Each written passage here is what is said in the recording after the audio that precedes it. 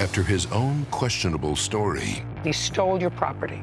and the words of his witness, You know Mr. McNeese for how long? Probably like a year. I don't even know that guy. will he finally cross the line? You don't look like a stupid young man. But he is. Hey, Judge Judy,